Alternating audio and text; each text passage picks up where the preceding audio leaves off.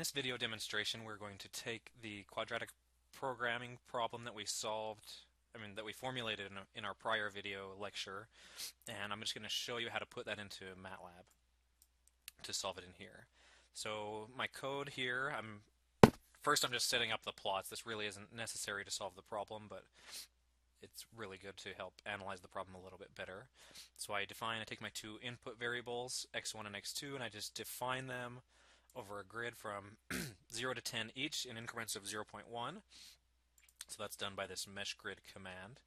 Then I define my cost, so I define the value of the objective function over that whole range using this x1 and x2 that I had defined previously.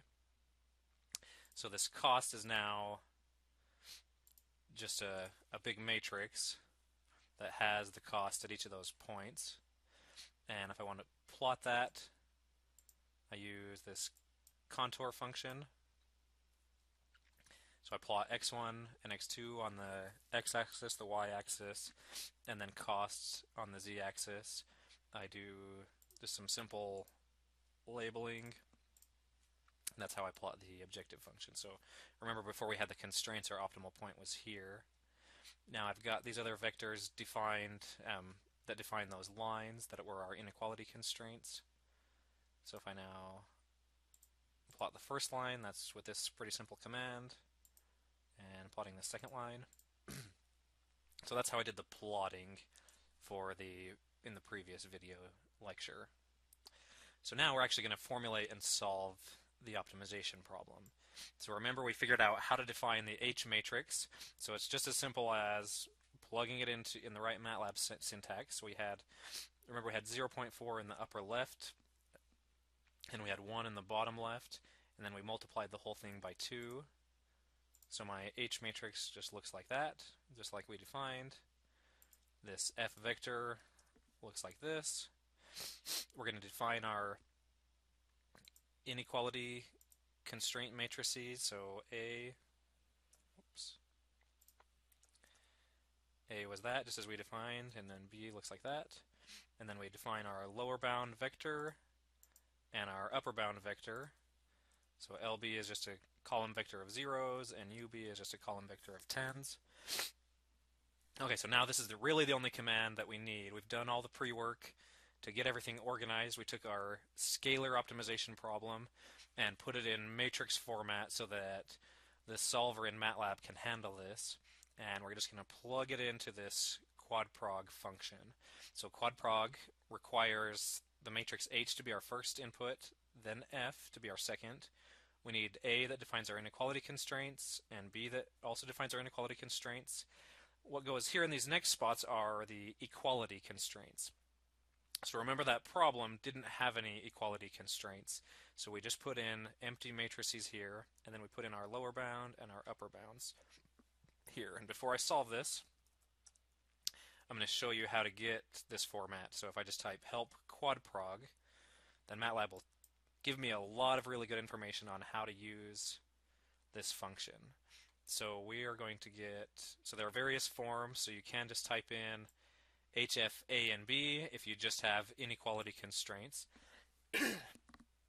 this gives us the form of the objective function that you've seen previously, so 1 half x transpose times h times x plus f transpose times x, and that is, we're minimizing that subject to a times x is less than or equal to b.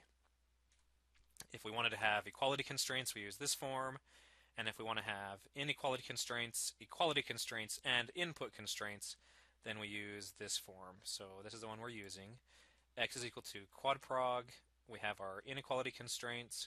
We're putting in those empty matrices for our equality constraints, and then we're putting in those simple vectors for our lower bound and upper bound. By solving this problem, this will give us the optimal combination of our inputs, x1 and x2. You can also have quadprog output some additional information. So if you scroll down here, you can have it give you this fval, which is the value the value of the objective function at the optimal solution. So x is the optimal solution, meaning the combination of x1 and x2 that result in the minimum cost, and then this f fval will be what that cost actually is. So we're going to solve this problem just by clicking one more step And what do we get? We get, here's our optimal solution, 4.62 and 6.62. So x1 is 4.62 and x2 is 6.62. And j here is the optimal cost. So j is minus 10.5. So you might be asking how could a cost be negative? And the way this problem is formulated, it actually it can't be negative. It should be a positive number. But if you remember, our objective function was actually this cost plus 50. Remember, this constant additive term doesn't affect the optimal solution at all. It doesn't affect where the x1 and x2 are under optimal conditions. It just affects the total value of the objective function. So actually, our total cost is j plus 50. So our total cost is 39.5. And I'm just going to take this last step and just plot this optimal solution so we can see where it is. and you can see that optimal solution shows up here with the big red dot. So that's, as I mentioned in the previous video, most of the battle here is just getting this information correct. If you have all of this information correct, getting the solution to the problem can be trivial. It's not always that way, and sometimes you might need to get into the nitty gritty of the way this, the solver is working, but for this particular problem, it's quite easy.